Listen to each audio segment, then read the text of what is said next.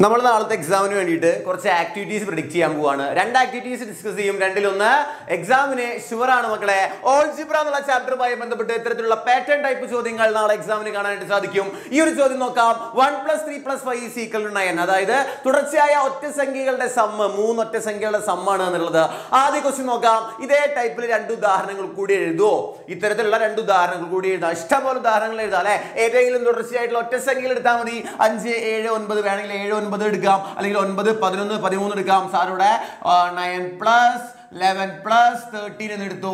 ഒറ്റയടിക്ക് എനിക്ക് ആൻസർ എഴുതാൻ പറ്റും. ഇതിന്റെ സമ്മ് വന്നിട്ട് തേർട്ടി ത്രീ ആയിരിക്കും. എങ്ങനെയാണെന്ന് എഴുതാൻ പറ്റുന്നതൊക്കെ സാറ് പറഞ്ഞു കേട്ടോ. ഇവിടെ eleven plus thirteen plus fifteen നമുക്ക് എഴുതാൻ പറ്റും. തേർട്ടീൻ ഇന്റു ത്രീ എത്രയാ? തേർട്ടീൻ എന്തെങ്ങനെയാ തേർട്ടീൻ ഇന്റു ത്രീ എന്നൊക്കെ എടുത്തേ?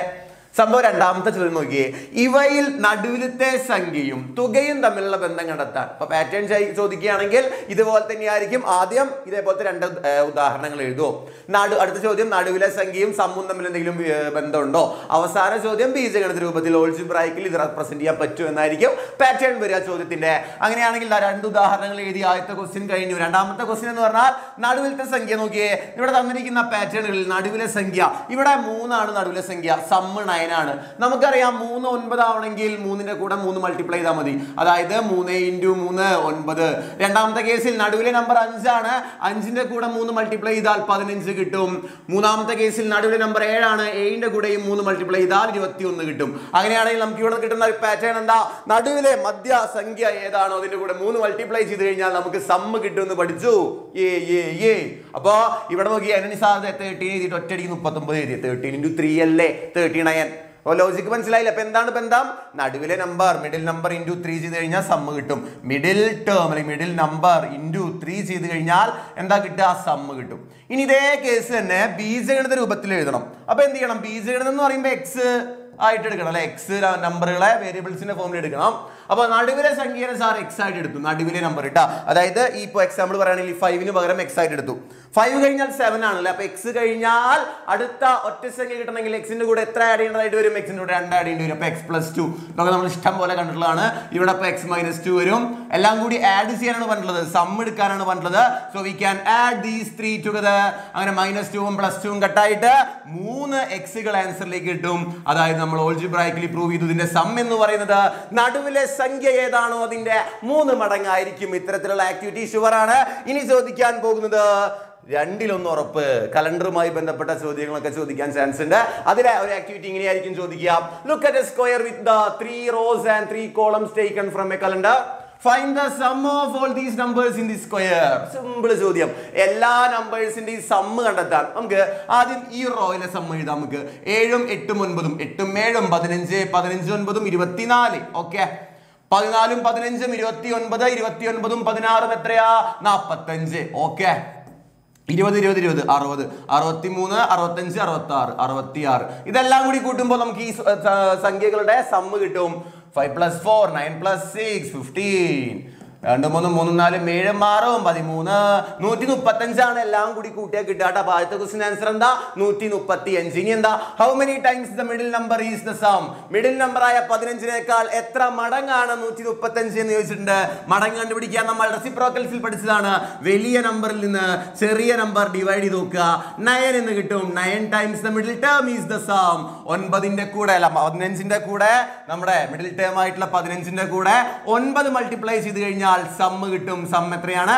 വൺ തേർട്ടി ഫൈവ് ആദ്യത്തെ ചോദ്യം പുഷ്പം പോലെ എഴുതി. രണ്ടാമത്തെ ക്വസ്റ്റ്യൻ എന്താണെന്ന് സാർ പഠിച്ച് ചെയ്യട്ടെ? ഓൾജിബ്ര രൂപത്തിൽ എഴുതാൻ ബീജഗണിത രൂപത്തിൽ ഈ ചാപ്റ്ററിന്റെ പേര് ഓൾജിബ്ര എന്നല്ലേ? അപ്പൊ എന്തായാലും ഓൾജിബ്ര ആയിട്ട് കണക്ട് ചെയ്തുകൊണ്ട് എഴുതാനാവും. Taking the first number in the square as X ആദ്യ നമ്പറിനെ എക്സ് ആയിട്ട് എടുക്കാൻ പറഞ്ഞിട്ടുണ്ട്. ഏഴിന് പകരം ഇനി നമ്മൾ എക്സ് എ എന്ന് വിളിക്കും. Calculate the sum of all these numbers what is relation between the sum and the middle number അപ്പൊ എക്സ് ആയിട്ട് എടുക്കുക എന്ന് പറഞ്ഞാൽ ബീജഗണിത രൂപത്തിൽ എടുക്കണം അല്ലെ? ബീജഗണിത രൂപത്തിൽ എഴുതാൻ അർത്ഥം. അപ്പൊ ഏഴിന് പകരം എക്സ് ആയിട്ട് എടുത്ത് നിൽക്കുക അപ്പൊ ഏഴ് കഴിഞ്ഞാൽ ഇവിടെ എട്ടാണ്. അപ്പൊ എക്സിന് എക്സ് കഴിഞ്ഞാൽ എക്സ് പ്ലസ് വൺ അല്ലെ? അപ്പൊ ഇവിടെ എക്സ് പ്ലസ് വൺ ഏഴിന്റെ കൂടെ രണ്ട് കൂട്ടുമ്പോഴാണ് അടുത്ത നമ്പർ ആയിട്ടുള്ള ഒൻപത് കിട്ടണേ. അപ്പൊ ഏഴിന് പകരം എക്സ് ആണെങ്കിൽ ഇവിടെ എക്സ് പ്ലസ് ടു ഇനി ശ്രദ്ധിക്കുക താഴെ കിടക്കുന്ന നമ്പർ നോക്കിയേ. ഏഴിന് താഴെ പതിനാല് ഏഴിന്റെ കൂടെ ഏഴ് കൂട്ടണം. അപ്പൊ എക്സിന്റെ കൂടെ ഏഴ് കൂട്ടണം. ഇനി അതിന്റെ താഴെ നമ്പർ നോക്കിയേ ഇരുപത്തിയൊന്ന് ഏഴിന്റെ കൂടെ പതിനാല് കൂട്ടണം. അപ്പൊ എക്സിന്റെ കൂടെ പതിനാല് കൂട്ടണം. ഇനി തൊട്ടപ്പുറത്ത് സംഖ്യ എന്ന് പറഞ്ഞ സിമ്പിൾ അവിടെ എക്സ് പ്ലസ് സെവൻ ആണെങ്കിൽ ഇവിടെ എക്സ് പ്ലസ് എയ്റ്റ് ഇവിടെ എക്സ് പ്ലസ് എയ്റ്റ് ആണെങ്കിൽ ഇവിടെ X plus nine wow simple ഇവിടെ എക്സ് പ്ലസ് ഫോർട്ടീൻ ആണെങ്കിൽ ഇവിടെ എക്സ് പ്ലസ് ഫിഫ്റ്റീൻ ഇവിടെ എക്സ് പ്ലസ് ഫിഫ്റ്റീൻ ആണെങ്കിൽ ഇവിടെ എക്സ് പ്ലസ് സിക്സ്റ്റീൻ ഇനി എന്താ നമ്മൾ ചെയ്യാൻ പോണേ? എല്ലാം കൂടി കൂട്ടാൻ പോവുക ആദ്യം നമുക്ക് ഈ ഒരു റോ കൂട്ടാം കേട്ടോ. നമ്മൾ ആദ്യം നേരത്തെ ചെയ്ത പോലെ ഈ ഒരു റോ കൂട്ടാം. പിന്നെ ഈ ഒരു റോ കൂട്ടാം. X plus X plus one plus X plus two X X X three X ഇവിടെ നമുക്ക് ത്രീ എക്സ് പ്ലസ് ത്രീ എന്ന് കിട്ടുവേ. ആരും പേടിക്കണ്ട ചത്തുപോയെ നെക്സ്റ്റ് എക്സ് എക്സ് എക്സ് എത്രയാ ഇവിടെ ത്രീ എക്സ് തന്നെ? പിന്നെന്താ? Nine plus eight seventeen plus seven twenty four അപ്പൊ ഇവിടെ ട്വന്റി ഫോർ കിട്ടേ. വീണ്ടും പേടിക്കണ്ടേ. ഇനി എക്സ് എക്സ് എക്സ് മൂന്ന് എക്സ് സംഖ്യകൾ തമ്മിൽ കൂട്ടുമ്പോൾ പതിനാറും പതിനഞ്ചും മുപ്പത്തിയൊന്നും പതിനാലും നാൽപ്പത്തി അഞ്ച് ഇനി ഇതെല്ലാം കൂടി കൂട്ടാം അല്ലെ? മൂന്ന് എക്സ് മൂന്ന് എക്സ് മൂന്ന് എക്സ് ഇതെല്ലാം കൂടി കൂട്ടുമ്പോ എത്ര കിട്ടണേ? Three x three x three x എല്ലാം കൂടി കൂട്ടുമ്പോൾ നയൻ എക്സ് കിട്ടും. പ്ലസ് അഞ്ചും നാലും ഒൻപതും മൂന്നും പന്ത്രണ്ട്. ബാക്കി ഒന്ന് നാലും ഒന്ന് അഞ്ച് രണ്ടും ഏഴ്. Four nine x plus seventy two എന്ന് കിട്ടും. Nine x plus seventy two അല്ലേ രണ്ടിലും കോമൺ ആയിട്ട് നയൻ ഉണ്ട് അല്ലേ നയൻ എക്സിലും സെവന്റി ടുവിലും കോമൺ ആയിട്ട് നയൻ ഉള്ളതുകൊണ്ട് ഔട്ട് സൈഡ് എടുക്കുമ്പോൾ എക്സ് പ്ലസ് എയ്റ്റ് എന്ന് കിട്ടും. Nine into x plus eight എന്ന് കിട്ടും. മക്കളെ ഒന്ന് ശ്രദ്ധിക്കുക. എക്സ് പ്ലസ് എയ്റ്റ് എവിടെയാണ് കിടക്കണേ നോക്കുക? എക്സ് പ്ലസ് എയ്റ്റ് എന്ന് പറഞ്ഞാൽ നമ്മുടെ നടുവിലെ നമ്മുടെ പാറ്റേണിലെ നടുവിലെ സംഖ്യയല്ലേ? അവിടെയും നമ്മൾ ബീജഗണിത രൂപത്തിൽ പ്രൂവ് ചെയ്തിരിക്കുകയാണ്. നടുവിലെ നമ്പർ ഏതാണോ? അതിനോട് കൂടി ഒൻപത് മൾട്ടിപ്ലൈ ചെയ്താൽ സമ്മ് കിട്ടും. സെറ്റ് അപ്പോൾ അപ്പൊ രണ്ട് ആക്ടിവിറ്റീസ് ആണ് നമ്മൾ പഠിച്ചിട്ടുള്ളത്. രണ്ടിലൊരു മോഡൽ ചോദ്യം എന്തായാലും എക്സാമിന് ഉണ്ടായിരിക്കുമെന്ന് പറഞ്ഞുകൊണ്ട് ഒരു ചോദ്യം നിങ്ങൾക്ക് വർക്ക് ചെയ്യാനായിട്ട് തരാം. ഇതിന്റെ എതിർമൂലയിലെ സംഖ്യകളുടെ തുകയുടെ പ്രത്യേകത ഒന്ന് കമന്റ് ചെയ്യണേ. സംഭവം സിമ്പിൾ ആണ് എക്സ്പ്ലെയിൻ ചെയ്ത് തരാം. ഒരു കലണ്ടറിനെ കുറിച്ചാണ് പറയുന്നത്. ഏതാ ഒരു കലണ്ടർ ഇവിടെ കാണിച്ചു തന്നിട്ടുണ്ട്. ഈ കലണ്ടറിലെ സ്ക്വയർ ഷേപ്പിൽ നാല് സംഖ്യകളിനെ കൺസിഡർ ചെയ്യാം. ഇഷ്ടമുള്ള പോലെ എടുക്കാട്ടോ. നാല് അഞ്ച് പതിനൊന്ന് പന്ത്രണ്ടോ? നാല് നമ്പർ ഉൾപ്പെടുന്നേ ഉള്ളൂ. സിമ്പിൾ ആണ്. ഇനി എന്താ find the property of the sum of the numbers the corners corners എന്ന് പറഞ്ഞ മൂലകളിലെ സംഖ്യകളുടെ പ്രത്യേകത ഒന്ന് കമന്റ് ചെയ്യുക. ബീജഗണിത രൂപത്തിൽ നിങ്ങൾ ഒന്ന് ചെയ്തു നോക്കുക. നമ്മൾ നേരത്തെ ചെയ്ത മോഡൽ അതേ ചോദ്യമാണ് ഒന്ന് ചെയ്തു നോക്കുക. നിങ്ങൾക്ക് exam point of view important ആണ്. അപ്പൊ കമന്റ് ചെയ്യാൻ മറക്കരുത്. ഇനി ഈ ചോദ്യത്തിന് എന്തെങ്കിലും ഡൗട്ട് ഉണ്ടെങ്കിൽ നിങ്ങൾ ധൈര്യമായിട്ട് സാറിന് മെസ്സേജ് അയച്ചോ എന്ത് ഡൗട്ട് ആണെങ്കിലും സാർ ഇൻസ്റ്റാഗ്രാം ഐ ഡി തന്നിട്ടുണ്ട്. ഇതിലേക്ക് വന്നു കഴിഞ്ഞാൽ ക്ലിയർ ചെയ്ത് കംപ്ലീറ്റ് ചെയ്ത് സെറ്റാക്കി തരാം എന്ന് പറഞ്ഞുകൊണ്ട് നമ്മുടെ എക്സാം അടിപൊളിയായിട്ട് മക്കൾക്ക് എഴുതാൻ സാധിക്കട്ടെ. എല്ലാ മക്കൾക്കും ഓൾ ദ ബെസ്റ്റ് നന്നായിട്ട് എക്സാം എഴുതുക. കൂളായിട്ട് എഴുതുക. ടെൻഷൻ ഒന്നും വേണ്ട. അപ്പോൾ കമന്റ് ചെയ്യാൻ മറക്കണ്ട. നമ്മുടെ ചോദ്യം എന്താണ്? കലണ്ടറുമായി ബന്ധപ്പെട്ട ചോദ്യം. എന്താണ് കമന്റ് ചെയ്യേണ്ടത്? എതിർമൂലകളിലെ സംഖ്യകളുടെ പ്രത്യേകത. സോ അടുത്തൊരു വീഡിയോ ആയിട്ട് നമുക്ക് വീണ്ടും കണ്ടുമുട്ടാം.